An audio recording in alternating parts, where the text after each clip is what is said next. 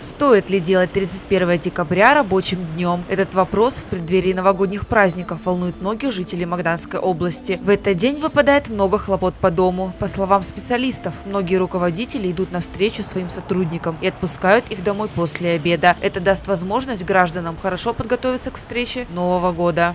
Учитывая пожелания наших избирателей, фракция ЛДПР в Государственной Думе внесла законопроект, чтобы на законодательном уровне объявить 31 1 декабря нерабочим днем. Однако парламентское большинство отклонило данный законопроект. В прошлом году 15 регионов нашей страны объявили 31 декабря нерабочим днем. Такое решение принимали руководители трудовых организаций самостоятельно. Опирались работодатели на предыдущий опыт предновогодней работы, на просьбы сотрудников и их пожелания, отмечают эксперты. Магаданское региональное отделение обратилось к э, руководству Магаданской области, губернатору Сергею Константиновичу с просьбой просьбой о переносе 20, 31 декабря значит, на субботу 26 декабря, для того, чтобы люди могли в спокойной обстановке подготовиться к встрече всеми нашего любимого праздника Нового года. Такое решение позволит в спокойной обстановке закупить продукты, приобрести подарки родным и близким. Здесь стоит учесть, что мы работаем в условиях пандемии. Жителям необходимо соблюдать социальную дистанцию. На рынках и в магазинах не должно быть массового скопления людей, отметил Александр Лакин. Поэтому сотрудники фракции ЛДПР уверены, что руководство Магаданской области поддержит их инициативу. И 31 декабря станет для колымчан нерабочим днем.